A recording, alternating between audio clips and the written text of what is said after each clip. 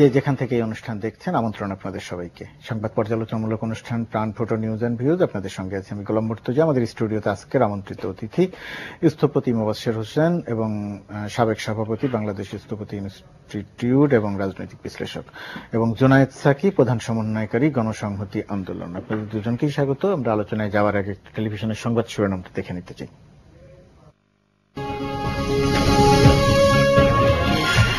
মন্দিরে হামলা আর প্রতিমা ভাঙচুরের ঘটনায় ব্রাহ্মণবাড়িয়া ও হবিগঞ্জে আরও আটত্রিশ জন আটক।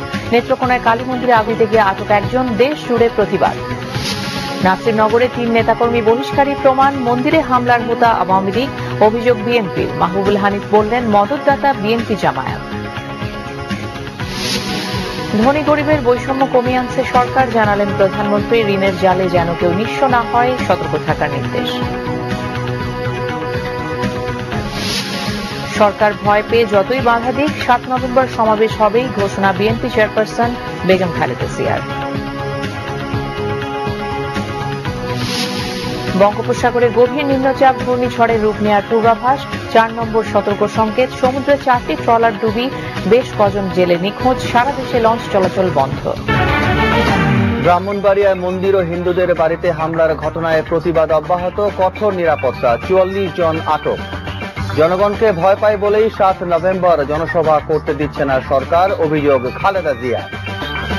আর্থসামাজিক উন্নয়নে সমবায়কে কাজে লাগানোর আহ্বান প্রধানমন্ত্রীর ক্ষুদ্র সঞ্চয়ের অনিয়মে সতর্কতার তাগিদ।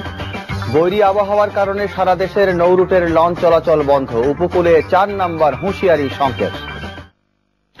প্রিয় দর্শক, আমরা টেলিভিশনের সংবাদ শিরোনাম দেখলাম। আমাদের হাতে বেশ কিছু পত্রিকা এসে পৌঁছেছে, আরও কিছু হয়তো পৌঁছে পৌঁছবে। আমরা সেই পত্রিকাগুলোর শিরোনাম আপনাদেরকে দেখাবো টেলিভিশনের পর্দায়। আপনারা বিষয়গুলো দেখতে পারবেন।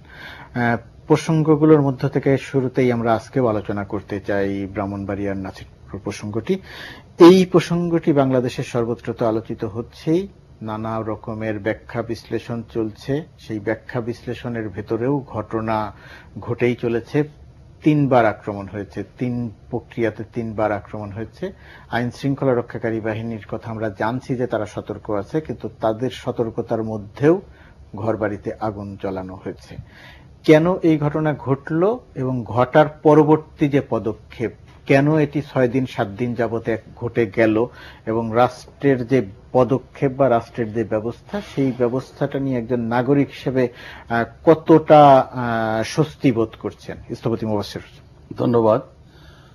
ধর্মের নামে যে কাজটি হচ্ছে আমি ধর্মগ্রন্থ থেকেই বক্তব্য দেওয়া শুরু করি।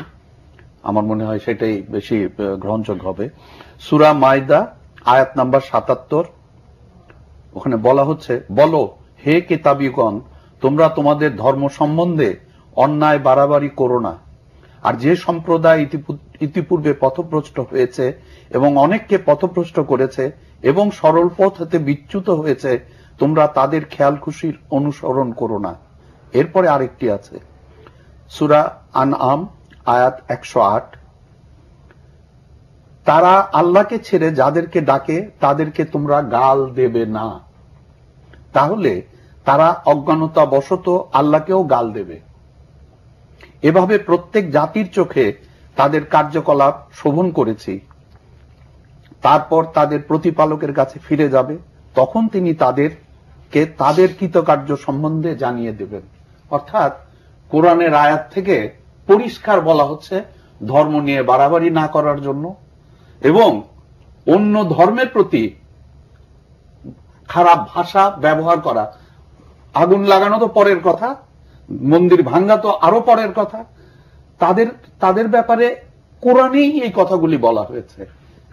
আমরা, আমার দৃষ্টিতে আরেকটি জিনিস আমি যেটা সারা বিশ্বের দিকে তাকালে দেখা যায়, বাংলাদেশে দেখছি মুসলমানরা অন্য ধর্মের লোককে ক্ষতিগ্রস্ত করছে, আর বিশ্ব, সারা বিশ্বের দিকে তাকালে দেখবেন মুসলমানরা মুসলমানকে হত্যা করছে।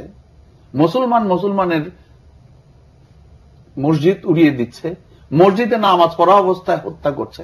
অর্থাৎ এই সামগ্রিক অবস্থা যদি আপনি বিবেচনা করেন, প্রত্যেক মুসলমান গ্রুপের দৃষ্টিতে অন্য মুসলমান হচ্ছে কাফের। আর কাফের হত্যা করাটাই যেন একটি বিরাট উৎসব, ধর্মীয় উৎসবের মতন করা হয়েছে। কিন্তু আমরা ধর্মের দিকে তাকালে তো প্রতিনিয়ত একটি কথা দেখি, আশরাফুল মকলুকাত মানুষ সৃষ্টির সেরা জীব। সেখানে কোথাও বলা হয় নাই মুসলমান যারা তারা সৃষ্টির সেরা এই যে এই যে যে মানুষগুলো ভাঙচুর করছে এবং আমাদের আইন শৃঙ্খলা রক্ষাকারী বাহিনী যাদেরকে ধরছে আটত্রিশ জনকে ধরা হয়েছে বলে আমরা জানলাম। এমনি আপনার কি ধারণা? সমাজ বিশ্লেষণে কি বলে? ওই মানুষগুলোই অপরাধী না তাদেরকেও তাদের পেছনে আরও বড় অপরাধী আছে? অবশ্যই তাদের পিছনে বড় অপরাধী আছে। এখন আমি যদি নাইনটিন সেভেন্টি এর পর থেকে ব্রাহ্মণবাড়িয়ার ইতিহাস যদি আপনি সংগ্রহ করেন অদ্ভুত জিনিস দেখতে পারবেন। সেখানে প্রায় প্রতিটি এনজিওর বিল্ডিং তার স্থাপনা আগুন লাগিয়ে পুরানো হয়েছে। সেখানে প্রতিটি সরকারি প্রতিষ্ঠান একটি প্রতিষ্ঠানের কাছে জিম্মি হিসাবে থাকে। সেখানে একটি পীরের আস্তানা রয়েছে। উনি ওখানে পুরাটা কন্ট্রোল করেন এবং প্রত্যেকে ইলেকশনে জেতার জন্য তাকে বা তার সহযোগীদেরকে কখনোই কোনোভাবে ডিস্টার্ব করতে চায় না। এমনকি আপনি ওখানে আরও একটা যে ঘটনা দেখতে পাবেন, এই এই এদের কি বলে, হিন্দুদের ব্যাপারের আগে, সেটি হচ্ছে সেই আবার আমি মিডল ইস্টের মতন কথাই চলে আসব। ব্রাহ্মণবাড়িয়াতে কাদিয়ানিদের উপর প্রচণ্ড রকম আক্রমণ হয়েছে। কাদিয়ানিদের মসজিদ দখল করা হয়েছে। সেই মসজিদ দখল করে ব্যবহার করা হচ্ছে। সরকার কি আজ পর্যন্ত কোনো ব্যবস্থা নিয়েছে? কারণ কি? নেয় না কেন? এই আমি ওই যে বললাম যারা এই কাজটি করছে তাদেরকে নিজেদের ভিতরে ধারণ করার চেষ্টা করা হচ্ছে অথবা তাদের কাছে নিজেরা বিকৃত হয়ে গেছেন। এখন সেই জায়গায় যদি আপনি আঘাত না করতে পারেন সেই জায়গায় যদি আপনি ব্যবস্থা না নিতে পারেন এবং এই এই যে আমি আজকে বিশ তিরিশ বছরের যে ইতিহাস আপনাকে সংক্ষিপ্ত ভাবে বললাম এরকম অনেক কিন্তু তদন্ত কমিটি কমিটি অনেক আমি বারবার একটি কথা বলছি বাংলাদেশের জন্ম পর থেকে আজকে পর্যন্ত যত তদন্ত কমিটি হয়েছে সেই সেইটার উপর একটি বিরাট শক্তিশালী তদন্ত কমিটি করে জনগণের সামনে পেশ করার সময় চলে আসছে। তাহলে এই তদন্ত কমিটির স্টোর রুম বাংলাদেশের সর্ববৃহৎ স্টোর রুমে পরিণত হবে। আমি আবার আসব আপনার কাছে। আপনার পর্যবেক্ষণ কি? এই যে নানা রকমের ব্যাখ্যা চলছে আওয়ামী লীগের জামাতিকরণ হয়েছে, স্থানীয়ভাবে একটি ঘটনা ঘটে গেছে, এখন স্বাভাবিক আছে, সম্প্রীতি সমাবেশ হয়েছে, নানা রকমের কথা শুনছি। বিষয়টি কি আসলে এত ছোট জায়গার, নাকি আরও ছোট, নাকি এর বড় কোনো প্রেক্ষাপট আছে? ধন্যবাদ আপনাকে।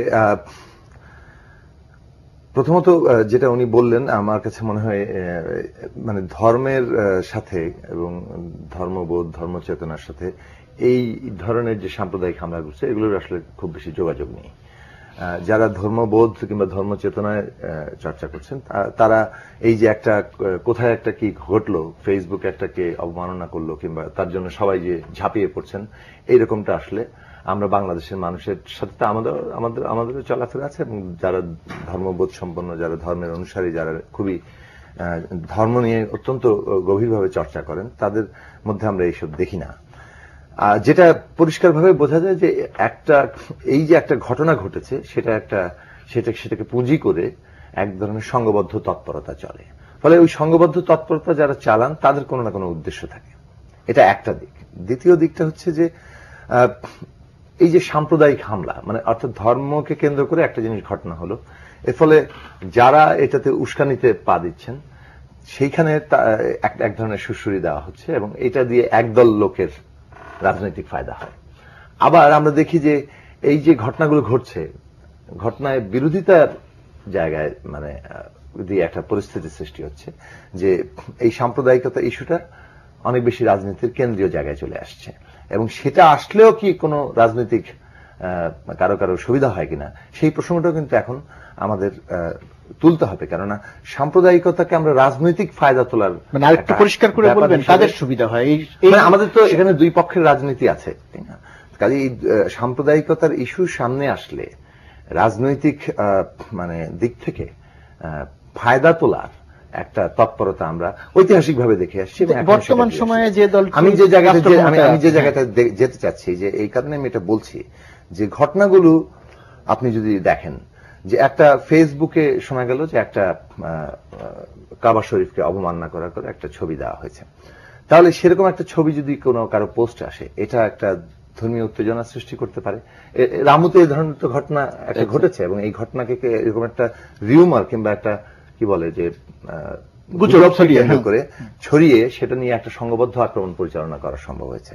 এখন সেই দিক থেকে আপনি সরকারের তো তারপর থেকে আরও অনেক বেশি সতর্ক থাকার কথা এবং সরকার নানান ধরনের আইন করে এই যে ইন্টারনেট কিংবা এই যে আমাদের সামাজিক যোগাযোগ সামাজিক মাধ্যম, হ্যাঁ। যোগাযোগ মাধ্যম এই সবকিছু নিয়ন্ত্রণ করার যথেষ্ট ক্ষমতা তাদের আছে।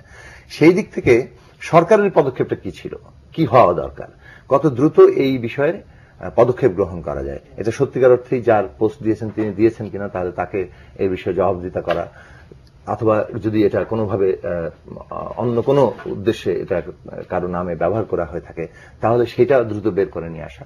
এবং আহ, এইটার এটাকে বন্ধ করে যেটা যে জায়গায় যাওয়া দরকার সেটা হচ্ছে যে এটাকে নিয়ে যদি ধর্মীয় উত্তেজনা সৃষ্টির কোনো সংঘবদ্ধ চেষ্টা চলে সেটাকে কীভাবে বন্ধ করা যায় তার জন্য দ্রুত আইনগত প্রশাসনিক এবং সমস্ত সামাজিক উদ্যোগগুলোকে তৈরি করা।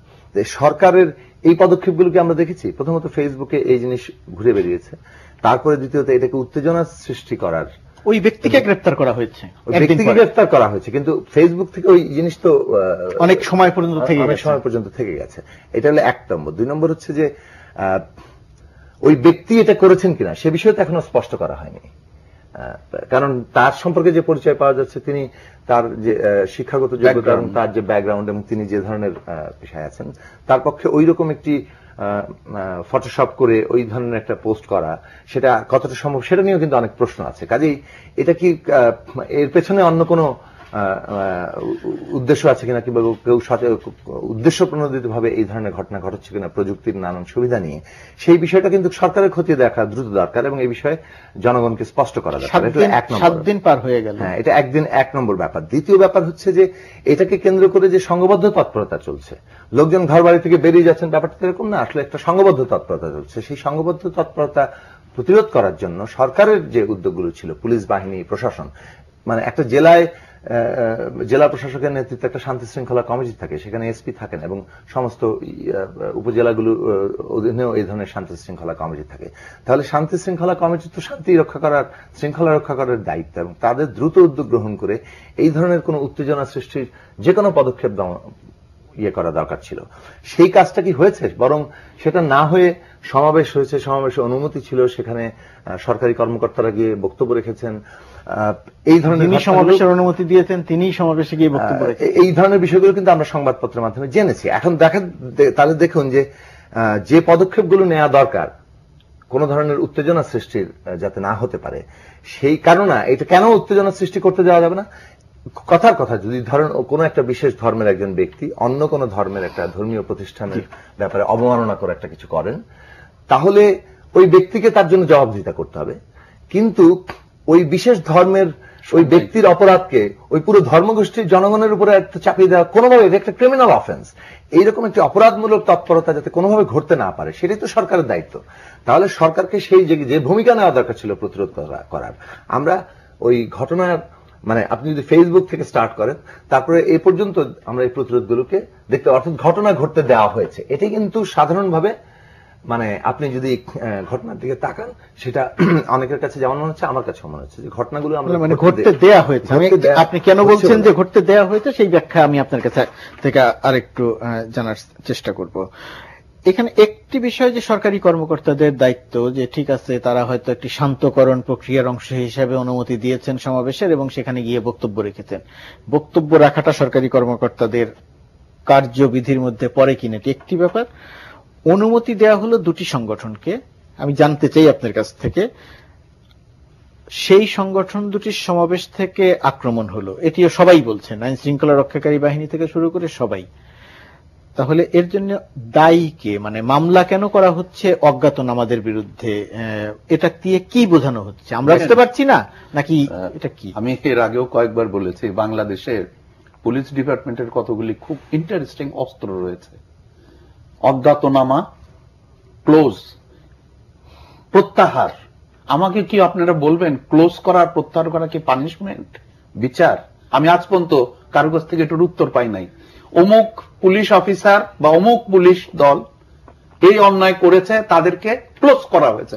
What does that mean till today আমি এত জায়গায় দৌড়াদৌড়ি কিন্তু এটার মানে কারও কাছ থেকে পাই নাই। এটা কি কোনো পানিশমেন্ট তাকে কি কোনো কয়েকখানায় রাখা হয়েছে? আর ক্লোজ কি তাকে আলমারের ভিতরে বন্ধ করে রাখা হয়েছে? আমি এখন পর্যন্ত জানতে পারি। আর প্রত্যাহার? প্রত্যাহার শব্দটির মানে কি? এটাও আমি আজ পর্যন্ত জানতে পারি নাই। এখন আসেন অজ্ঞাতনামা। অজ্ঞাতনামার খুব সহজ রাস্তা হলো, যখন যাকে খুশি ওই, ওইটা সামনে ঝুলিয়ে, ওইটার এগেনস্টে যাকে খুশি তাকে ধরে নেওয়াটা খুব সহজ।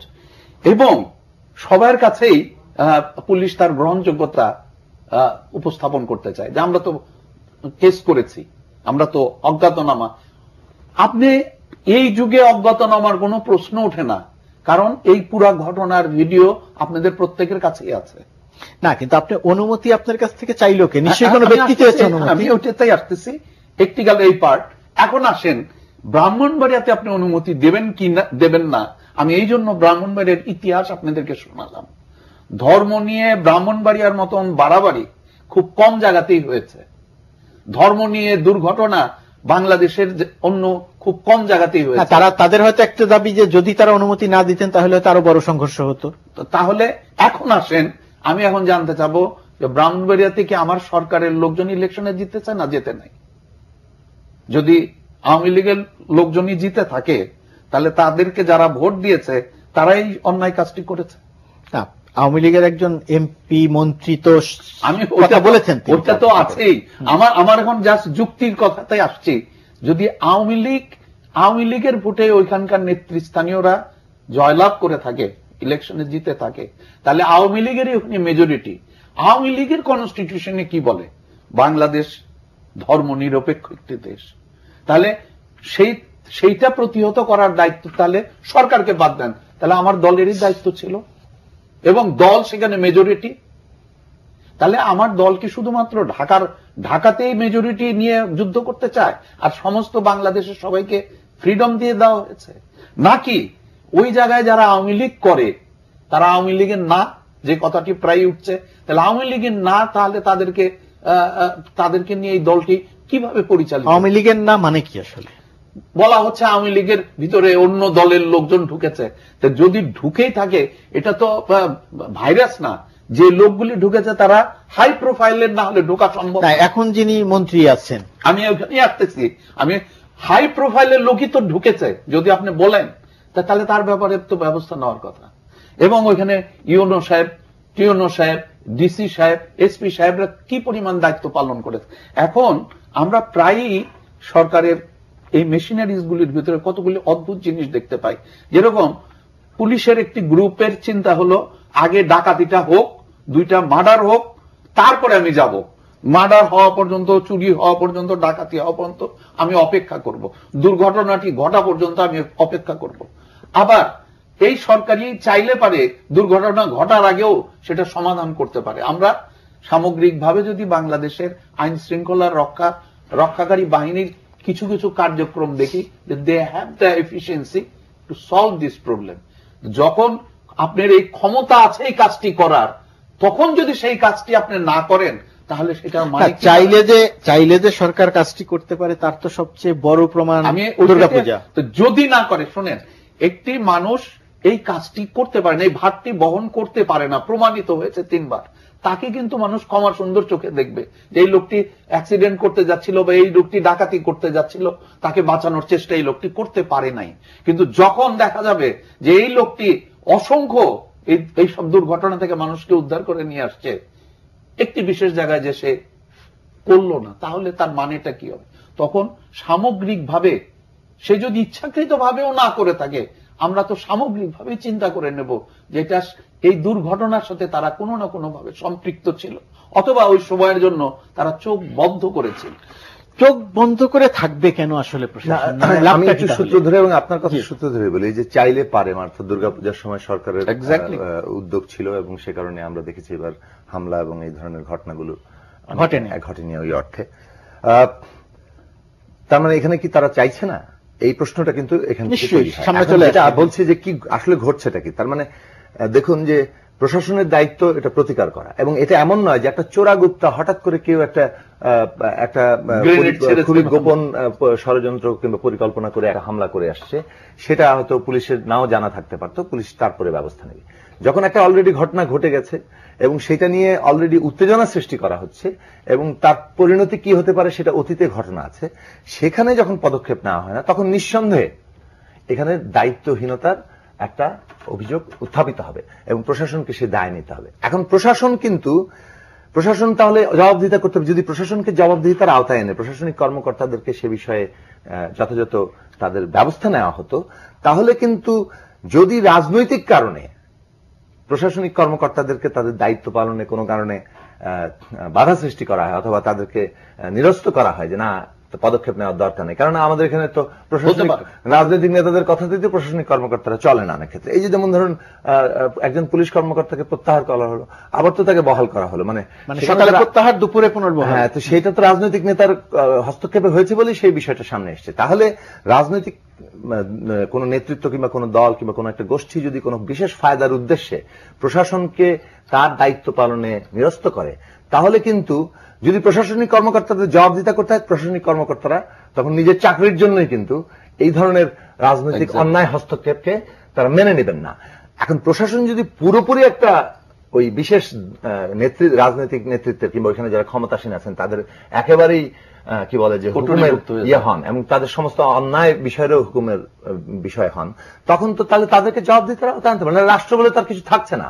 তাহলে এই যে জায়গাটা তৈরি হচ্ছে, এইসব থেকে আমি বলছি যে প্রতীয়মান হচ্ছে মানে অর্থাৎ ঘটনা দেখে যে কারণেই মনে হয় যে বোধহয় ঘটনাগুলো ঘটতেই দেওয়া হচ্ছে, কেননা ঘটনার তো কোনো প্রতিকারের ব্যবস্থাটা, কোনো প্রিএমটিভ কোনো স্টেপস নাই, বরং ঘটছে ঘটছে। এবং তারপরের ঘটনা তো আরও ভয়ঙ্কর, যে যখন এই ঘটনা ঘটা হলো, তারপরে সারা দেশব্যাপী তোলপাড় হচ্ছে, প্রতিবাদ হচ্ছে, আমরা আন্দোলন করছি, আমরা কর্মসূচি পালন করছি।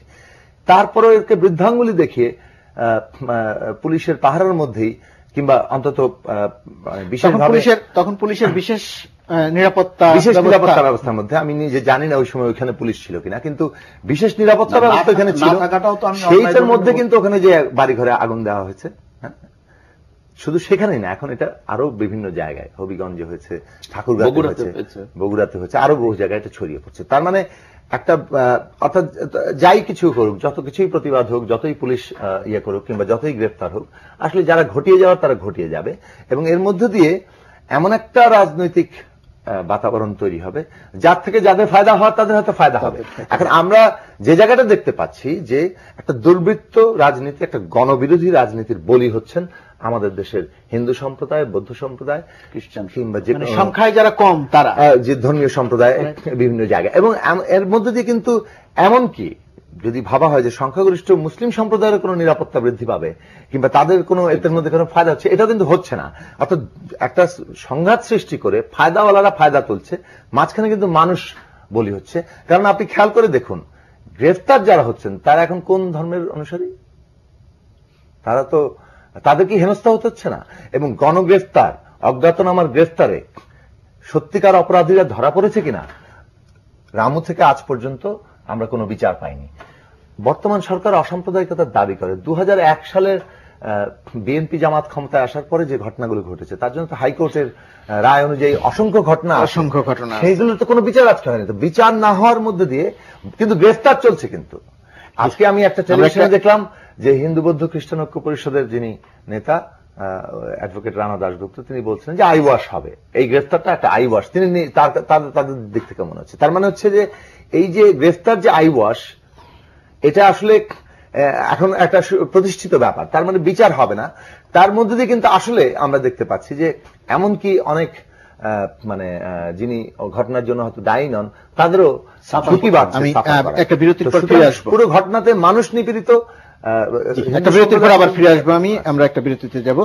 বিরতি থেকে এসে স্থপতি মোবাসের হোসেন আপনার কাছ থেকে জানতে চাই জুনায়দ থেকে যে কথাটি বললেন যে সারা দেশে তোলপাড় হচ্ছে প্রতিবাদ হচ্ছে সাংগঠনিকভাবে রাজনৈতিকভাবে প্রতিবাদ করছেন। কিন্তু আর একটা অংশ বিভিন্ন সময়ে খুব গুরুত্বপূর্ণ সময়ে, জাতির খুব কঠিন সময়ে সেই অংশটিকে এক ধরনের তৎপরতা দেখা যেত, জোরালো ভূমিকা দেখা যেত। তারা কেউ, আমরা তাদেরকে নাগরিক সমাজ বলি, কেউ সিভিল সোসাইটি বলি। আমাদের কালচারাল অঙ্গনটা এক সময় খুব রিচ ছিল, সব আন্দোলন সংগ্রামে তারা ছিল বলে বলা হতো। তারা আছে কিনা বা তারা থাকলে কোথায় আছে, কীভাবে আছে, আপনার কোনো পর্যবেক্ষণ আছে কিনা এই জায়গাটিতে জানব, তার আগে একটা বিরতিতে যাব। দর্শক, থাকুন আমাদের সঙ্গে।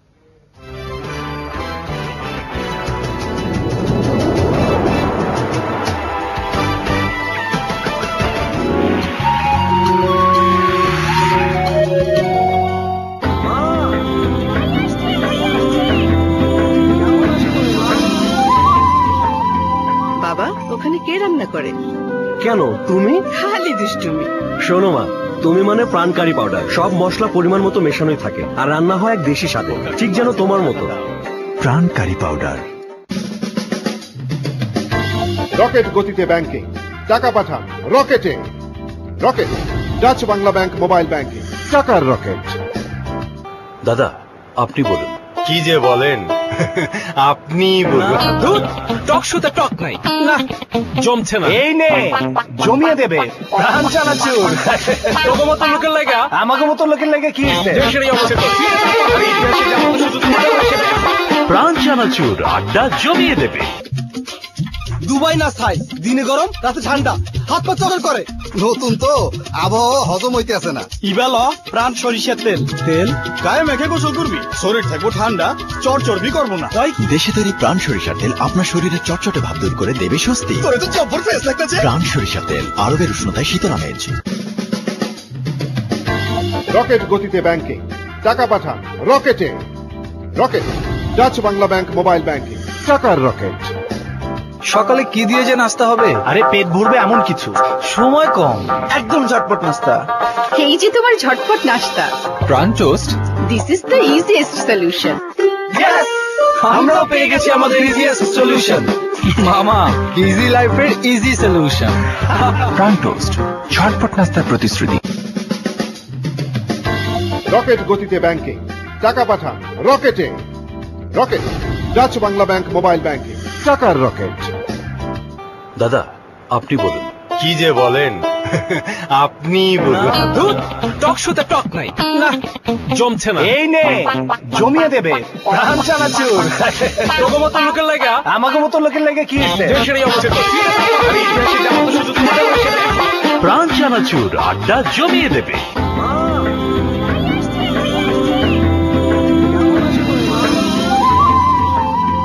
বাবা ওখানে কে রান্না করে?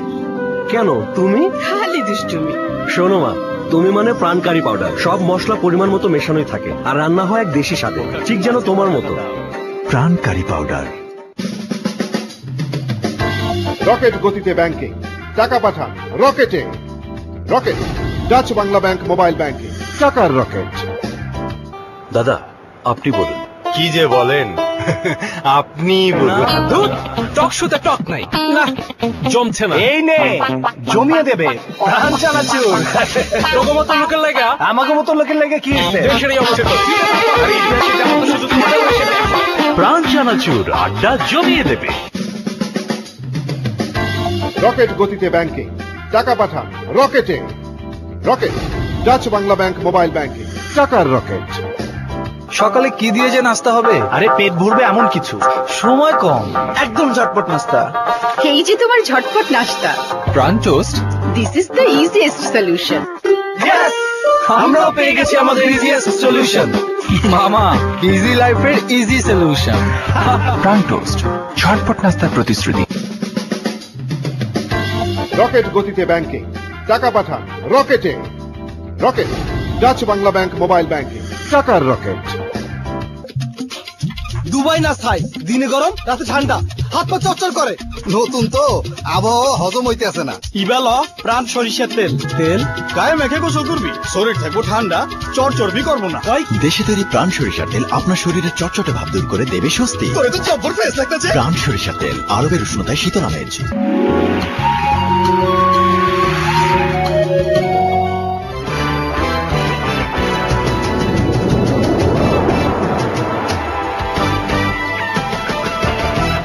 ট্রান্সপোর্টার নিউজ অ্যান্ড ভিউজ অনুষ্ঠানে বিরতির পর আবারও স্বাগত। আমরা কথা বলতে স্থপতি মোবাসের হোসেন এবং রাজনীতিবিদ জোনাইদ সাকির সঙ্গে।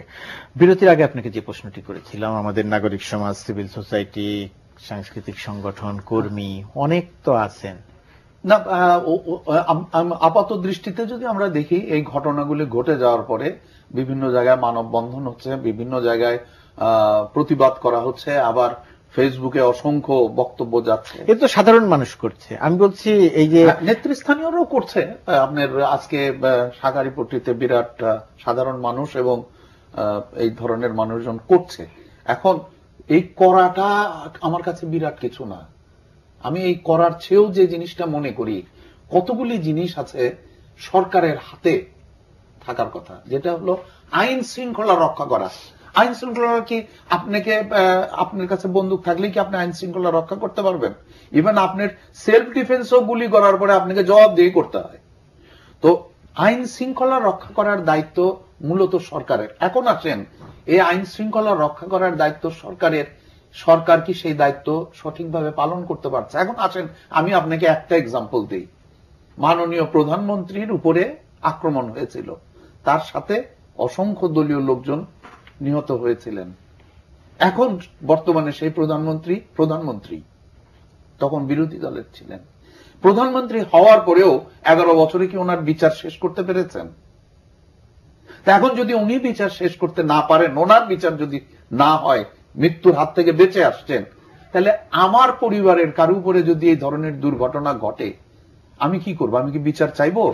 না, আমি গোপনে অস্ত্র জোগাড় করে আমি নিজেই বিচার শেষ করব। এখন আসলে এই যে নাসিরনগরে বা ব্রাহ্মণবাড়িয়ার যে যাদের উপরে আক্রমণ হয়েছে এরা আসলে কি করবে? আপনার কাছে কোনো ইয়ে এক নম্বর করণীয় কি? আমরা হ্যাঁ, রাষ্ট্র কি করবে বা কি করছে সেটা তো আমরা দেখছি। আমি প্রথমে বলে নিই প্রথমেই তাদের নামের সাথে একটি অদ্ভুত সুন্দর জিনিস আমরা জুড়িয়ে দিয়েছি সংখ্যা লঘু অর্থাৎ ইনডাইরেক্টলি আমরা সব সময় উচ্চারণ করছি সেকেন্ড ক্লাস সিটিজেন প্রথমেই আমরা তাদেরকে কিন্তু আমরা একটু প্রসঙ্গ পরিবর্তন করতে চাই এখান থেকে আপনার কথা তারা এখন কি করবে? মানে তাদের তো করণীয় সরকারের কাছে পৌঁছানো ছাড়া আর তো কিছুই নাই। সরকারকে কঠোর হতে হবে। এবং আমার প্রথম বক্তব্য হচ্ছে যে সরকার মানে তো তাদের স্থানীয় মন্ত্রী। আমি স্থানীয় মন্ত্রী যখন ফেল করবে তাহলে সেন্ট্রাল থেকে সেখানে হস্তক্ষেপ করতে হবে।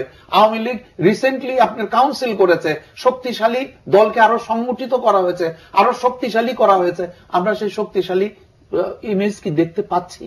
আমরা যদি না দেখতে পাই, তাহলে আমাদের ভিতরে কি এই বিশ্বাসই জন্মাবে যে আওয়ামী লীগ কি বলে ধর্ম নিরপেক্ষ বলে কিন্তু কার্যক্রমে বেনিফিট এবং ইতিহাস যেটা প্রমাণ করে। আমি আওয়ামী লীগকে সাপোর্ট করি, তারপরেও ইতিহাস বলে।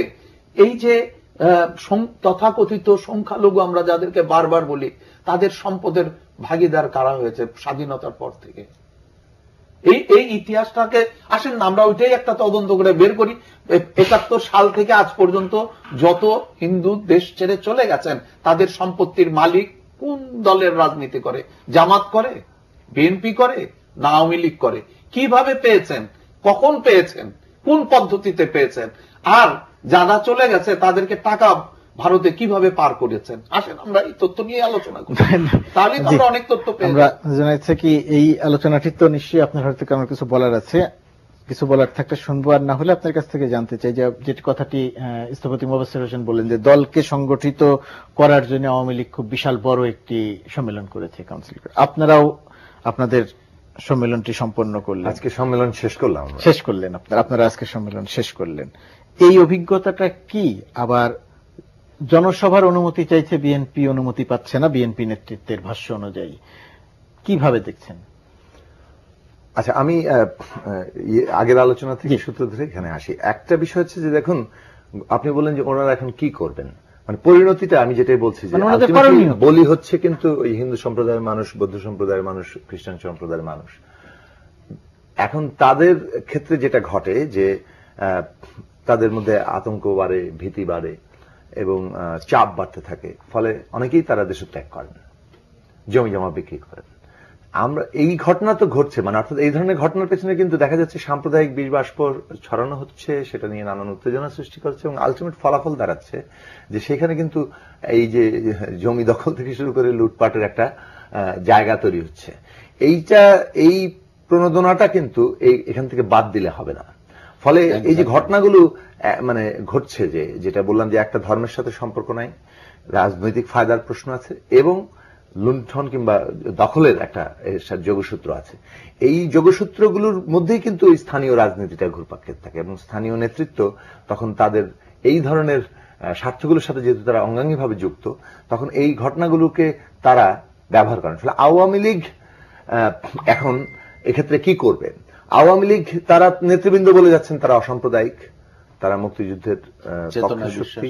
এবং এখানে কোনো সাম্প্রদায়িক সমস্যা হবে না কিন্তু আমরা দেখছি যে ঘটনার মানে যদি আমরা রামু থেকে এ পর্যন্ত দেখি তাতে আওয়ামী লীগের মানে লোকজন কিন্তু এর সাথে নানানভাবে যুক্ত হয়ে পড়ছেন। আপনি যদি সাথিয়ার ঘটনা দেখেন আপনি আরও অন্যান্য ঘটনাগুলো প্রত্যেকটা জায়গাতেই কিন্তু সরকারি দলের লোকজন যে সেখানে ছিল এবং প্রশাসনের যে সেখানে একটা দায়িত্বহীন কিংবা নিষ্ক্রিয়তা ছিল সেই জায়গাগুলো খুবই স্পষ্টভাবে এসছে।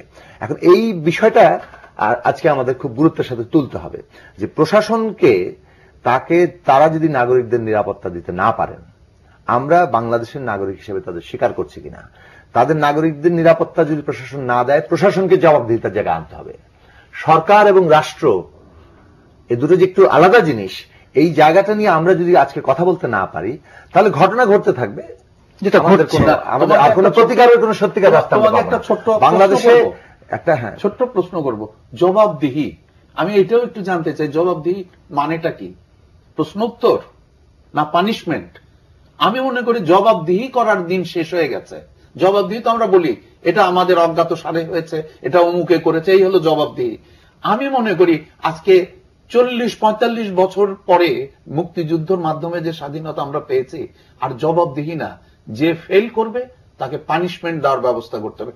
কত কম সময় আপনি পানিশমেন্ট দিতে পারেন? এই যে বহিষ্কার ছাত্রলীগ থেকে বহিষ্কার করা হয়েছে। আমি লিখে দিতে পারি আগামী আমি যেটা- বলছিলাম যে ধরেন এই যে জবাবদিহিতা মানে তাকে তাকে শাস্তির আওতায় আনা। এখন সেটা যদি দেওয়া হয় তাহলে কিন্তু প্রশাসন তার নিজের.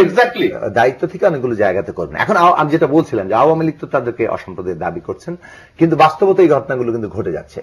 এবং তারা এই ঘটনা প্রত্যেকটা ঘটনায় আমরা কি ঘটছি? যে তারা বিএনপি জামাতের উপর দায় চাপিয়েছেন। এবং এই ঘটনা তো তারা বিএনপি জামাতের উপরে দায় চাপিয়েছেন। অবশ্যই বিএনপি জামাত যদি এটা করে থাকে তাহলে তাদের বিচারে আওতা আনুন। আমরা এটা তো দায় চাপানোর ব্যাপার। তাদেরকে তাদেরকে দায় চাপাচ্ছেন তাদেরকে দায়ী করছেন কিন্তু তাদেরকে তাদের সুনির্দিষ্টভাবে কেউ বিচারের আওতায় আসছে না। কিন্তু ঘটনা ঘটে যাচ্ছে। তার মানে আসলে ঘটনা ঘটনা ঘটতে থাকবে রাজনীতি চলতে থাকবে। যদি বিচারের এই জায়গাটা অত্যন্ত বিপজ্জনক জায়গা হচ্ছে। আমি বারবার যেটা বলার চেষ্টা করছি তার মানে হচ্ছে যে সাম্প্রদায়িক ইস্যুটা সাম্প্রদায়িক হামলা হবে এবং সাম্প্রদায়িকতার ইস্যুটা রাজনীতির কেন্দ্রে আসবে। সেটাও বোধহয় কাউকে কাউকে রাজনৈতিকভাবে ফায়দা দিচ্ছে। সেই ফায়দা যদি দিয়ে থাকে এটা আমাদের জন্য অত্যন্ত অশনি সংকেত এবং এটা আরও বিপজ্জনক দিকে যাবে। এখন আমি আসি লাস্ট আপনি যেটা আচ্ছা। বললেন। কীভাবে মানে এই যে ধরুন রাজনৈতিক দিক থেকে মানে এই যে বিএনপির সমাবেশে অনুমতি দিচ্ছে না আমাদেরও অনেক সমাবেশের ক্ষেত্রে আহ, মানে আমরা একটা সম্মেলনের ইন্টারনাল সেশন করতে চাই। সেখানেও দেখলাম পুলিশের অনুমতি না হলে ঢোকা যাবে না। তারপরে সেই অনুমতির জন্য নানান রকম সেটা হয়তো নিরাপত্তার জন্য অনুমতির কথা না কিন্তু প্রশ্নটা হচ্ছে যে এই যে সভা সমাবেশের যে একটা শান্তিপূর্ণ সভা সমাবেশের যে অধিকারটা সেটা যদি হরণ করা হয় এই অগণতান্ত্রিকতা সমাজের মধ্যে কিন্তু নানান ভাবে মানুষের যে সক্রিয়তা। সেটাকে ভয়ানকর ভাবে বন্ধ করে দেয়। আপনি ঘটনা ঘটলেও কিন্তু এটা অত্যন্ত আমাদের জন্য আশার দিক যে ওইখানে অনেকেই রক্ষা করতে গিয়েছেন। কিন্তু আপনি ক্রমাগতভাবে এমন ভীতি সমাজের মধ্যে ছড়াচ্ছে মানুষের পরিবেশ, সংখ্যাও মানুষের কমে স্বাধীনতাকে যাচ্ছে। খর্ব করে আমি আবার আসব সময় সময় থাকলে আরেকবার আসব মানুষের শেষে আমি যে প্রশ্নটি আমি- আমি ওনার কথা- এই যে বিএনপির সমাবেশ আমি আমি ওটার চেয়ে যে কথাটা বলতে চাই তাহলে আমরা এখন যদি পর্যালোচনা করি আমরা দেখতে পাই যেখানে যত দুর্ঘটনা ঘটে তার সাথে জামাত এবং বিএনপি জড়িত। তাহলে আমি যদি আমার এনিমিকে আইডেন্টিফাই করে থাকি, তাহলে আমার প্রথম দায়িত্ব এই এদের দ্বারা যাতে দুর্ঘটনা না ঘটে। তারপরে তাহলে এই দুর্ঘটনা ঘটে কেমন করে? ঘটনার পরে আমি নাম বলতে পারি। তাহলে আমি নাম আগে থেকেই জানতাম। তাহলে এইটার উত্তর কে দেবে? যখনই যেখানে দুর্ঘটনা ঘটছে হ্যাঁ আমি ধরেই নিচ্ছি, আমি স্বীকারও করে নিচ্ছি যে বিএনপি এবং জামাত এই দুর্ঘটনাগুলি ঘটাচ্ছে। ধরে নিলাম। তাহলে আমার প্রতিষ্ঠান আমার দল, আমার সরকার, এ ব্যাপারে সম্পূর্ণ অজ্ঞ। তাই কি? অজ্ঞ তো না। ঘটনা ঘটার সাথে সাথে নাম বলতে পারছি আমি তাহলে ঘটনা ঘটার আগে আমি এটা প্রতিহত করতে পারি নাই কেন? আমি তো ক্রিমিনালকে চিনি ক্রিমিনালকে জানি। এইটারও তো উত্তর আমার পাওনা তাদের কাছে। আপনি শত্রুকে চেনেন। আরে ভাই, আমি পাকিস্তানের বিরুদ্ধে যুদ্ধ করেছি। তারপরে আমি বলব আমি শত্রু চিনি না। বিএনপির বিএনপির বিএনপির একটি সমাবেশের অনুমতি চাইছে সাত নভেম্বর। অনুমতিটা পাচ্ছে না বলেই এখন পর্যন্ত যেটি মনে হচ্ছে। এবং বিএনপি বলছে যে যে কোনো উপায়ে আমরা সমাবেশ করবই। এই যে এখানে বিএনপি কে যেন উস্কিয়ে দেওয়া হচ্ছে এবং বিএনপি কে পরাজিত করা হবে আমার দল পরাজিত করবে অনুষ্ঠান যাতে কোনোভাবে ঠিকভাবে না করতে পারে এই ধরনের বোধহয় একটা চিন্তা আমার দলের মানুষের ভিতরে বোধহয় কাজ করছে। যে একটি হচ্ছে অনুমতি দেব না। অনুমতি না দিলে তারা করবে। করতে যাওয়ার চেষ্টা করবে যখন তাদেরকে আসতে দেব না বসতে দেব না মাইক চালাতে দেব না। অর্থাৎ ফেলিওর করানোর জন্য প্রচেষ্টা হিসাবে আমি এটাকে বিবেচনা করব। একটি স্বাধীন দেশে সেটাতে তো সরকার সফলও হয়। হ্যাঁ, হবে শুনেন সরকার সফল হইতে চাইলে অনেক ক্ষেত্রে হওয়া সম্ভব। আর মানুষের আরেকটা একটা জিনিস আমাদেরকে সব সময় খেয়াল রাখতে হবে। মানুষের যখন আর্থিক সচ্ছলতাটা কিছু একটা পর্যায়ে চলে যায় তখন মানুষ রাস্তায় খুব কম নামে। মানুষ তখন তার ভাষা দিয়ে প্রতিবাদ করে, তার বক্তব্যে প্রতিবাদ করে, মিডিয়াতে প্রতিবাদ করে। আপনি যদি ওইটাকে মানুষের দুর্বলতা মনে করেন, মানুষের অংশগ্রহণ না মনে করেন, এখন আপনি কি সরকার কি চায় যে আমরা যারা পেশাজীবী, তারা চব্বিশ ঘণ্টা রাস্তায় আন্দোলন করব? তা তো না। এই যে ভুলটা হয়, আজকে চিন্তা করেন, আমি প্রায় এই কথাটি বলি আজকে কংগ্রেস কত শেষ করতে হবে। কংগ্রেস কত বছর ধরে ভারত শাসন করছিল? সেই কংগ্রেস কোথায় চলে যাচ্ছে? বিকজ কতগুলি ছোট ছোট ফেরিওর থেকে এই ঘটনাগুলি ঘটে। আমি মনে করি আজকে আওয়ামী লীগ ঘুরে দাঁড়াতে পারে সুন্দরভাবে ঘুরে দাঁড়াতে পারে। স্বাধীন একটি সরকারকে শক্তিশালী করতে হলে শক্তিশালী বিরোধী দলের বিকল্প কোনো কিছু নাই। এখন শক্তিশালী বিরোধী দল যদি না থাকে তাহলে সরকার কি করবে? আপনি আপনি বিরোধী দলকে শক্তিশালী হওয়ার কি সুযোগ দিচ্ছেন আপনি? কোন ওই যে এদের মানে সুযোগ দিতে হবে কেন? অবশ্যই সুযোগ দিতে হবে। আপনি সুযোগ দেওয়া মানে হচ্ছে তাকে রাস্তা তৈরি করে দেওয়া না। তার পথে কাটা না ফেলানো। রাস্তাটি আছে। আপনি সেখানে কাটা ফেলবেন। আপনি সেখানে গর্ত কেটে কেটে তার গাড়ি যাওয়া বন্ধ করবেন। তা তো হবে না। আপনি ব্যাপারটা তো কেবল সুযোগের না ব্যাপারটা হচ্ছে যে সুযোগটা তো না এই যে একটি কথা আলোচনা হচ্ছে আমি সুযোগটা না তো অধিকার। এই- আপনি- হ্যাঁ, বলেন আপনি একটি কথা বলা হচ্ছে যে একটা শক্তিশালী বিরোধী দল নাই দেখে সরকার অনেক কিছু করে ফেলছে। প্রশ্ন হচ্ছে যদি শক্তিশালী বিরোধী দল না থাকে তাহলে দায়টা সরকারের কেন? না এটা অর্থাৎ সরকারের দায় বিরোধী শক্তিশালী বিরোধী দলের অনুপস্থিতি সরকারের দায়। এটা একদিক থেকে জায়গা যে সরকার যদি এমন একটা পরিস্থিতি সৃষ্টি করে যে কোন রকম বিরোধিতাকেই আসে মানে দাঁড়াতে দিচ্ছে না। দাঁড়াতে দিচ্ছে না তখন কিন্তু উন্নয়নের জন্য তো বিরোধিতা জরুরি না উন্নয়নের জন্য তো কাজ করা না না জরুরি সেটা সরকারের যেটা বলছি আমি সরকারের ভাষ্যটা বলছি হ্যাঁ কিন্তু বিষয়টা হচ্ছে যে আপনি তো তো সবকিছু স্থগিত করে দেওয়া দরকার তাহলে তো সংবিধান দরকার নেই তাহলে গণতন্ত্র যায়। বাদ দিয়ে দেওয়া দরকার কিন্তু যখন সংবিধান আছে এবং আপনি সেই সংবিধানের কে ঊর্ধ্বে তুলে ধরার কথাই বলবেন তখন সংবিধান তো আপনাকে এটা এটা আপনি আমাকে সুযোগ দেওয়ার ব্যাপার নাই তা আমার অধিকার। তাহলে যে কোনো ব্যক্তিরই অপরের ক্ষতি না করে একটা তার মত প্রকাশের, তার সভা সমাবেশ করার অধিকার আছে। তাহলে হ্যাঁ বিএনপি রাজনৈতিকভাবে বিএনপির সাথে আওয়ামী লীগের পার্থক্য আছে, আমাদের পার্থক্য আছে। পার্থক্য তো অনেকেরই থাকবে এবং পরস্পরের বিপরীত অবস্থা থাকতে পারে, কিন্তু প্রত্যেকটা রাজনৈতিক দলের এই যে সভা সমাবেশ করার অধিকার আছে। এখন যদি দিবস পালন করার ক্ষেত্রেও আপনি বাধা সৃষ্টি করেন। তার মানে আপনি তো আসলে কোনো ধরনের রাজনৈতিক তৎপরতার মধ্যে আর রাখতে চাইছেন এটা কি সাতই নভেম্বর নিয়ে যেহেতু আওয়ামী লীগের ভিউটা একেবারে সম্পূর্ণ আলাদা বিএনপিরটা আলাদা এই কারণেই কি সাতই নভেম্বরের অনুমতি না দেয়া নাকি রাজনৈতিক ইন্টারপ্রিটেশন তো মানে এখন কেউ তো কারও বয়ানে আহ, রাজনীতিটা করবে না। মানে এখন যদি কোনো একটা দল মনে করে তারা যে ব্যাখ্যা দিবে সেটাই সকলকে মেনে নিয়ে আহ, সেই ব্যাখ্যা অনুযায়ী চলতে হবে। এভাবে তো আসলে একটা ইতিহাস ব্যাখ্যা চলে না। কাজেই এখন আমরা সাতই নভেম্বর নিয়ে বিএনপির ইতিহাস ব্যাখ্যা নিয়ে মানে আপনার বিরোধ থাকতে পারে, আমার বিরোধ থাকতে পারে, বিরোধ আছে। কিন্তু সেই বিরোধটার মধ্যে বিএনপি যে ব্যাখ্যা দিতে চাইবে, বিএনপি সেই ব্যাখ্যা অনুযায়ী সেই দিবস পালন করতে পারবে না, এর তো কোনো গণতান্ত্রিক আচরণ হতে পারে না। সেই জায়গা থেকেই এই অগণতান্ত্রিক জায়গাটা যে তৈরি হচ্ছে, এর ফলে যেটা হচ্ছে যে সমাজের মানে সত্যিকার অর্থে বিরোধিতার জায়গাটা নানানভাবে ক্ষতিগ্রস্ত হয়ে যাচ্ছে। এখন বিএনপি রাজনৈতিক দল হিসেবে কেন মানে এই সরকারের নিপীড়ন মোকাবেলা করে দাঁড়াতে পারছে না তার একটা জায়গা আছে। সেটা রাজনৈতিক দিক থেকে বিএনপির যে জনগণের স্বার্থকে প্রতিনিধিত্ব করা দরকার সেক্ষেত্রে বিএনপিকে আমরা খুব বেশি, কোন রকম এই নিজেকে রূপান্তরিত করার কোন তারা আগে গণবিরোধী ছিল এখনও তাদের সেই সেই অবস্থানটাই বহাল আছে তারা জনগণের স্বার্থে কোন রকম কর্মসূচি নিয়ে এগিয়ে আসছে না। সেটাই তাদের বরং ব্যর্থতার প্রধান জায়গা। কিন্তু যেটা হচ্ছে যে যখন আপনি দমন করে একটা জিনিসকে বন্ধ করতে চাইবেন কারও অধিকার খর্ব করবেন সেখানে আমি আমার শত্রুর অধিকারের পক্ষে কথা বলব। কেননা আমার কথা বলব। আমার অধিকার আমি যদি একজনের অধিকার হরণ করাকে সমর্থন করি একদিন আমার আমার অধিকার থাকবে না। এটা আমরা বুঝতে চাচ্ছি না সম্ভবত। দেখেন- যার উপরে যখন এসে পড়ছে আমরা তখন কথা বলছি। দেখেন শেষ করব আপনার বক্তব্য দিয়ে বলুন। সহজ ওর কথা ধরে আমি বলি যে একটা সরকারি দলকে যদি শক্তি যে কোনো একটা দলকে যদি শক্তিশালী করতে হয়, বিশেষ করে সরকারি দল যদি শক্তিশালী হতে চায় এবং তার দলের ভিতরের এই অন্যায়কারীদেরকে যদি সেই দল নিজে বের করতে না পারে, বিরোধী দল কিন্তু তখন সহযোগী হিসেবে কাজ করে।